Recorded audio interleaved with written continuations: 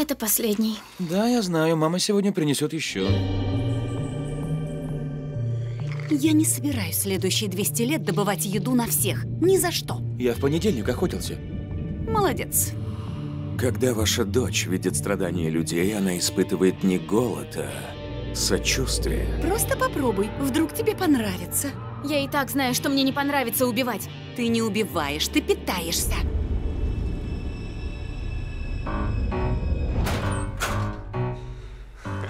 Выбери, кто больше нравится, я его подвешу и покажу, как выпускать кровь. Я не голодная. Сегодня он убил летучую мышь. А если в следующий раз нападет на человека? Мой сын не убийца. Да, я смог бы убить только себя. Мне не нравится жить.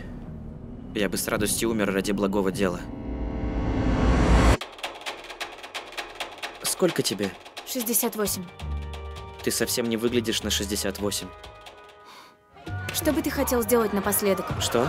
Последнее желание. Перестань! Я совсем разберусь, моя гуманистка. Где он живет? Львица влюбилась в овечку.